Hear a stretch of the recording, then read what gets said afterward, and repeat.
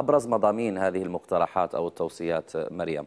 لنبدأ باعتماد التصويت العلني برفع اليد أو التصويت عبر الجهاز الإلكتروني المعد لذلك.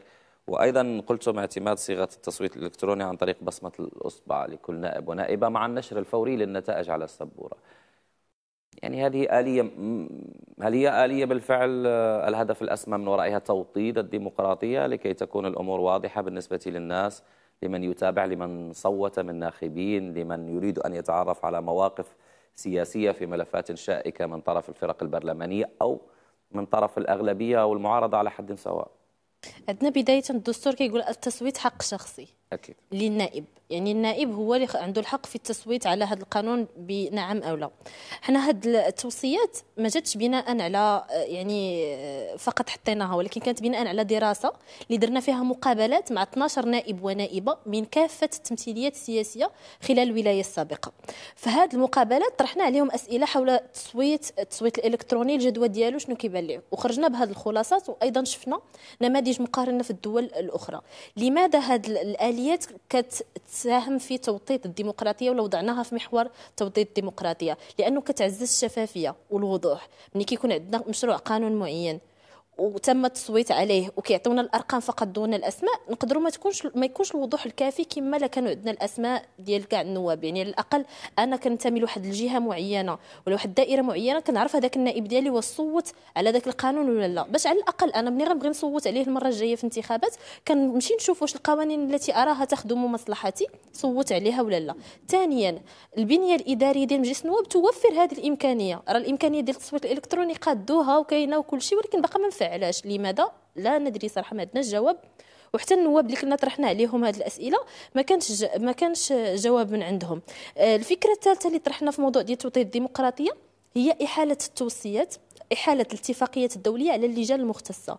لأنه دابا ملي كتجي شي كنعرفوا أنه لا قبل ذلك قبل ذلك. مسألة مسألة التصويت العلني هي تعبير عن موقف سياسي. طبعا. يعني شئنا أم أبينا. طبعا. النائب ينتمي لكتلة برلمانية لفريق برلماني. هذا الفريق ينتمي لحزب سياسي يتمتع بمرجعية ما كان في الأغلبية أم في المعارضة فإن تصويته العلني قد يعبر عن موقف سياسي. صحيح.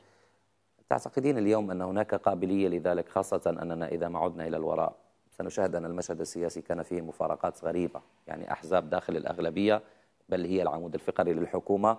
يعارض نوابها مشروعا أو قانون تقدم به تقدمت به الحكومة داخل قبة البرلمان فتخيلي معي وكأنكم أو كأنكم في سمسم ستخلقون صراعا حتى داخل الأحزاب نفسها صحيح. بعيدا حتى عن كانت في الأغلبية في المعارضة هذا أمر صعب صح. يحتاج إلى جرأة سياسية أتذكر أن أنا من قمت بالمقابلات في هذه الدراسة أنه كان عندنا سؤال ديال علاقة النائب بالحزب ديالو نعم. وكانوا الأجوبة ديال العلاقة الأبوية ولا علاقة الطاعة ولا علاقة التعاقد.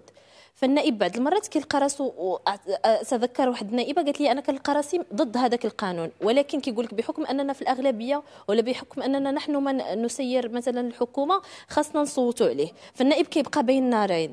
حنا صراحة باش نعززوا هذاك الوضوح ونعززوا هذاك الحق الدستوري اللي عطاه لي التصويت حق شخصي بغينا طالبنا بهذه الآلية. لأنه في نهاية المطاف هو كاين توازن ديال حفظ آه، الأغلبية وحفظ التوازنات وكاين. تماما والانسجام ولكن في نهاية المطاف أنت راه تمثل واحد الفئة من المواطنين عطاتك الثقة ديالها. إلا أنت ما صو... إلا صوتي بشي حاجة ما ما ملتزماش بقناعاتك والقناعات اللي كنتي كتقدمها للناس أين هي زعما الديمقراطية؟ ولكن, ولكن واش هناك قابلية لكي لا يذهب مجهودكم هباء منثورا؟